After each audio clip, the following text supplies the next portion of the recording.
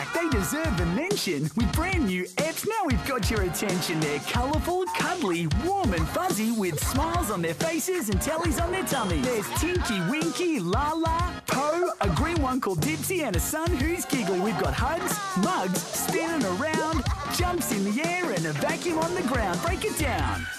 New Teletubbies starts Monday 11:40 on ABC Kids.